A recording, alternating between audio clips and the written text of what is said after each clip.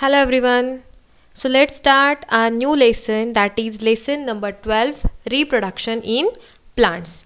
So in this lesson we are going to learn one important life process that is reproduction but in plants okay reproduction in animals you will see in your higher classes okay so let's start our first session see the keywords i have given asexual reproduction budding embryo, fertilization, fragmentation, gametes, hypha, ovule, pollen grain, pollen tube, pollination, seed dispersal, sexual reproduction, spore, sporangium, vegetative propagation and zygote. So already keywords are given in your textbook so no need to take the screenshot and write okay so directly write from the textbook as well as write the aim of your first session okay the first aim is that to learn about vegetative propagation okay so in first session we are going to learn one type of asexual reproduction that is vegetative propagation okay First, we will see the introductory part that is what is a reproduction or what is the need of reproduction. Okay. So, all living things produce more of their own kind. Means the process through which a living thing produces new living things like itself is called reproduction. Are you getting? When the parents are giving birth to the child or to the offsprings so that process is known as reproduction reproduction is allows living organism to continue to live on the earth from one generation to the other. Like we are having a family our grandfather then your father then we are okay? So these are the generations. And that generations is because of this one important life process that is reproduction okay? So reproduction is important okay? So in in case of plant so that reproduction occurs in two ways okay? Asexual and sexual reproduction okay? Which will uh, learn in this lesson okay? We will learn see understood what is a reproduction? The process in which parents produces offsprings so that process is known as reproduction. So there are two modes of reproduction okay? Reproduction takes place in plants through these two ways. First one is asexual and second one is sexual reproduction. So what is asexual reproduction? When there is a new plant arises from the vegetative part. Vegetative part means which part? Like your leaf stem and root so when the new plant grow with this part or grow from this part of the parent plant so that reproduction is known as a asexual reproduction in which no spore or no seed formation. So what is that? That we will see afterwards. But understood what is the asexual reproduction? There is a reproduction of plant. There is a growth of new plant but that is from the vegetative parts.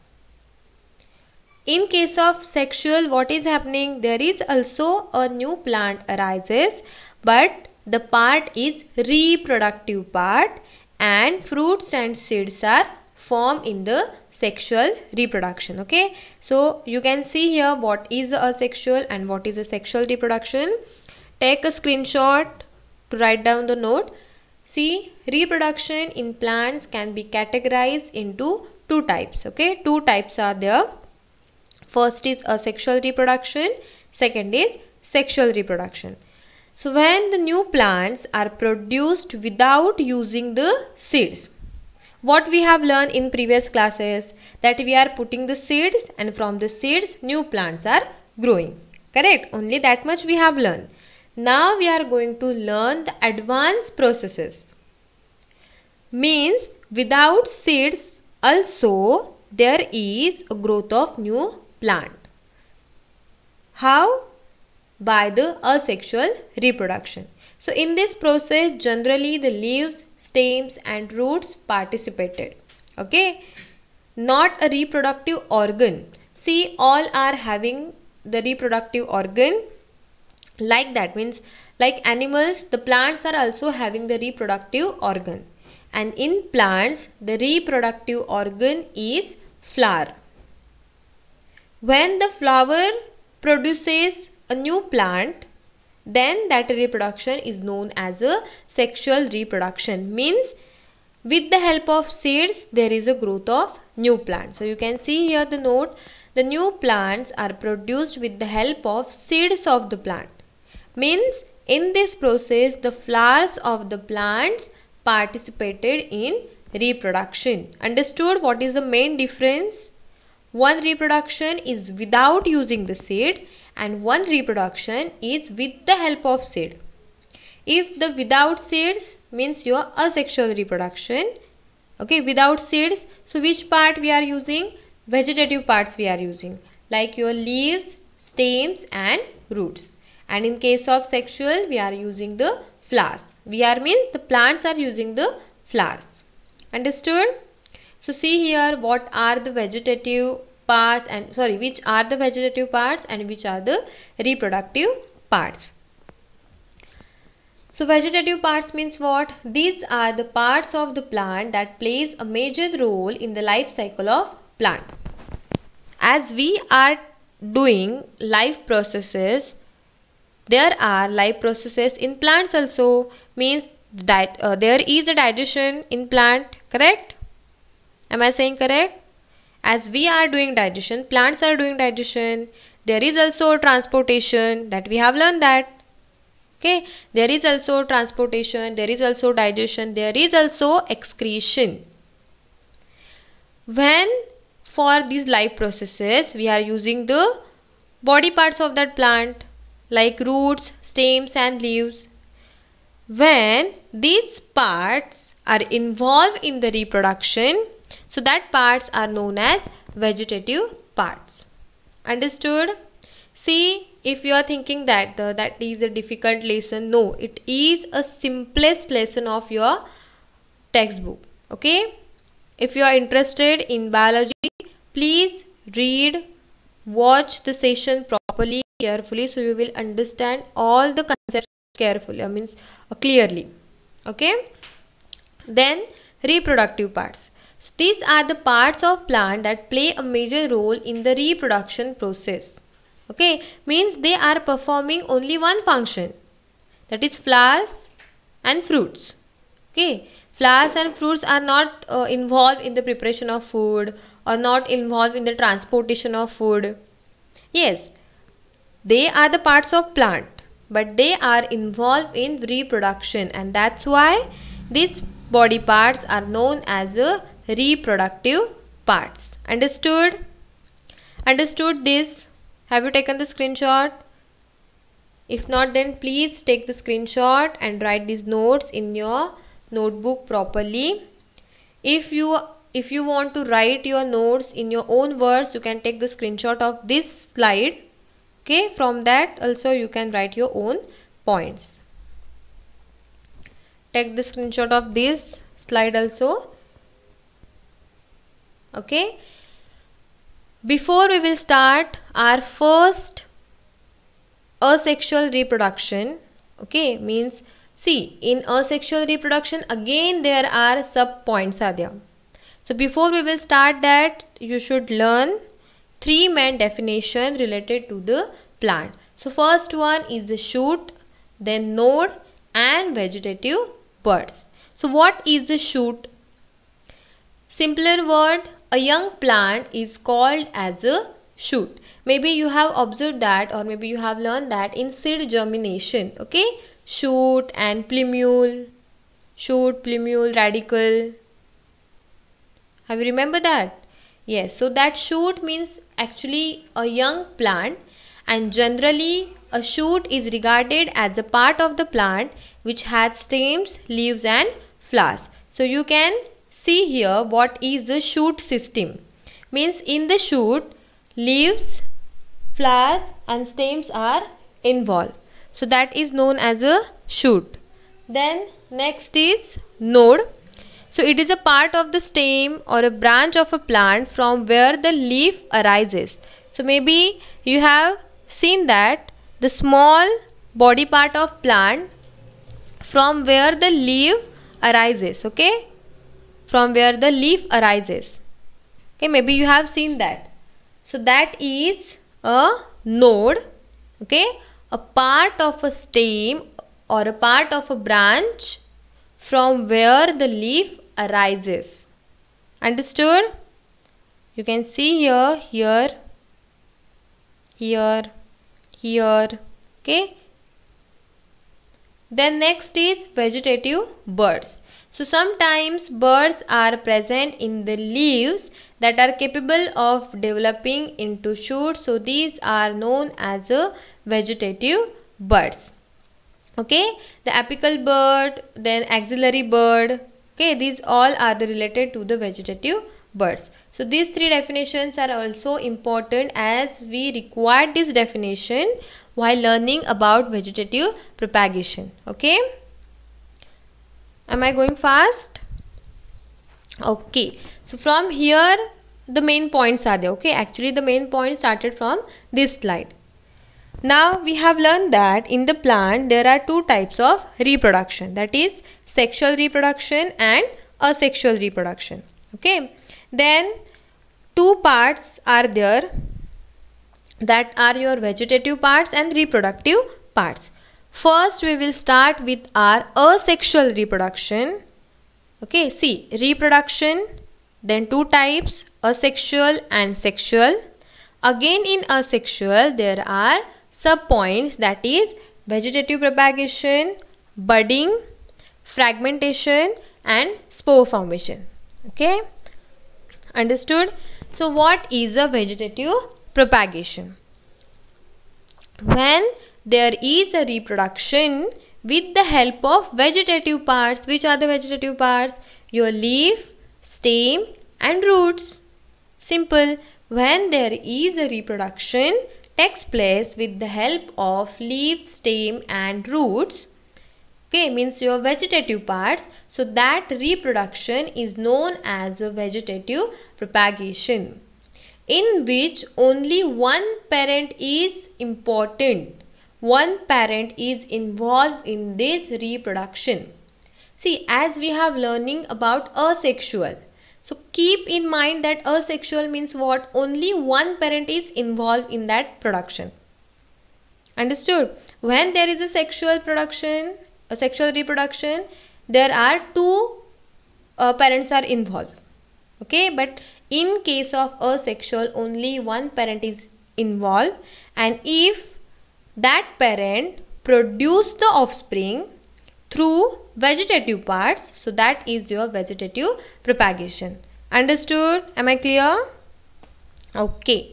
So let's start our vegetative propagation by roots, by leaves and by stems. Okay. So first we will start our vegetative propagation by roots. Okay. The simple point is there.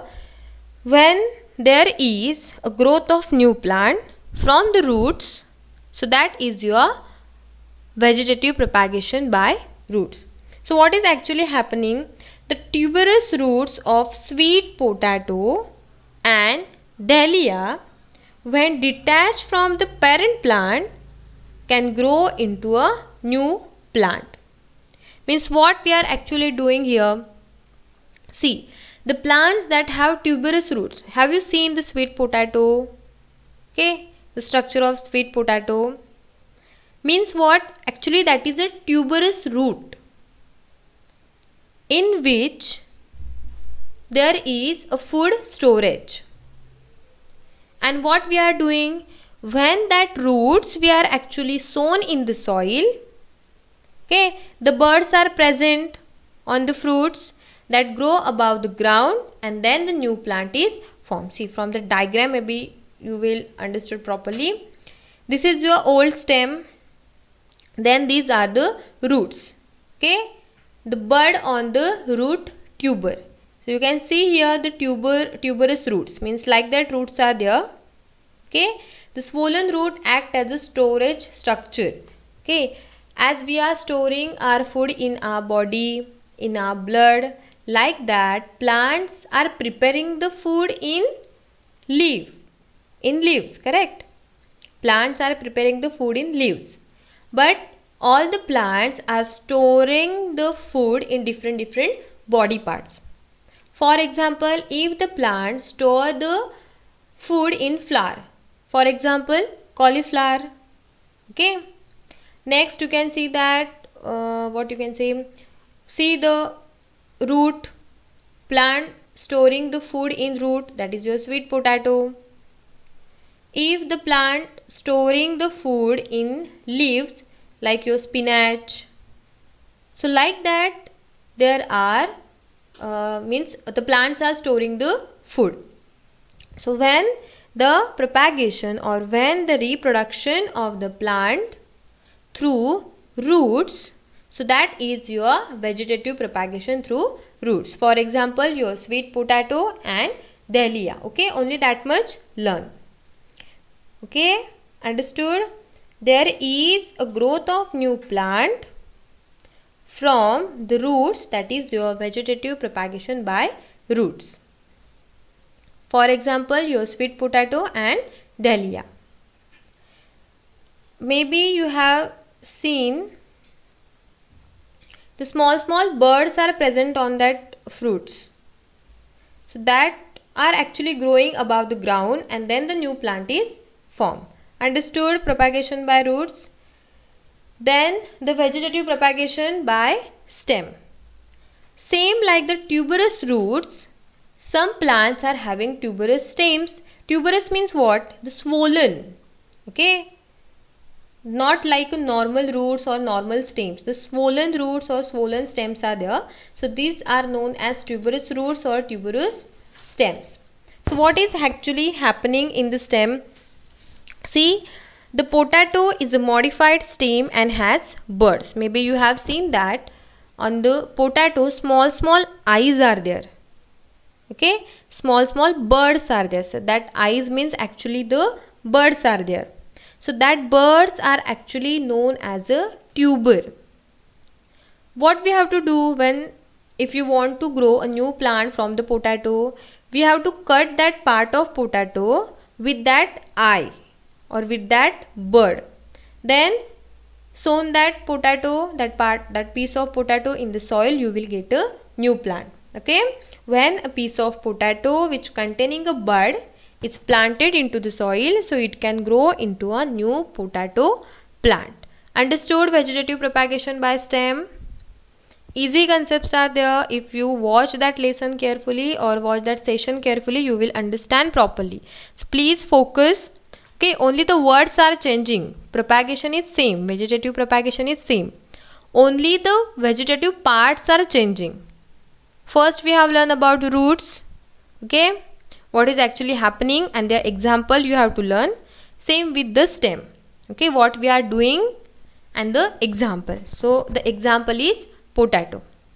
Okay? You can see here. These stem tubers store the nutrients and bear nodes. These nodes bear buds that form the new plant. That example potato. Understood? Next are okay. See in stem two again the points are there that is stem tubers and the runners. So runners are also the modified stems. Okay, don't confused. Runners are also the modified stems. So what is actually happening in the runners? Many plants have long thin stems called runners. Maybe you have seen in uh, Ganpati season we are actually that durva. Okay, have you seen the durva? That are actually the runners which are having the long thin stem which grow horizontally parallel to the ground. Okay a runner roots and sprouts new leaves whenever it touches the soil and then give rise to the new plant. Understood? So like that there is a growth of new plant. Simple. See, the some plants grow along the ground and contain the modified stems are known as runners. So these runners are having birds. You can see here this kind of birds. So that birds produces the roots and stems roots and these stems. And then there is a growth of new plant. The example is strawberries and that durvas okay most types of grasses are having or uh, that propagate in this manner okay in natural conditions okay. We don't need to give the water and all. And the last vegetative propagation that is by leaves. Means from the leaves also there is a growth of new plant. Okay that example is bryophyllum. So you can see here the leaves of uh, bryophyllum plants produces buds on their margins so these buds grow into the plantlets you can see here the bryophyllum are having the buds on the area on the top of that leaves so that birds can develop into a new plant. The example is bryophyllum. Okay, you can see here the buds grow into the plantlets and these plantlets get detached from the leaf and grow into the new plants. Understood? So here we have completed our vegetative propagation okay the artificial means of vegetative propagation and all that we will see in our next session okay uh, because maybe you will confused between the vegetative propagation and artificial vegetative propagation okay? So here we have completed our first session. Please write down all the notes watch the session again and again to understand to clear all the concept okay? Still stay home stay safe and thank you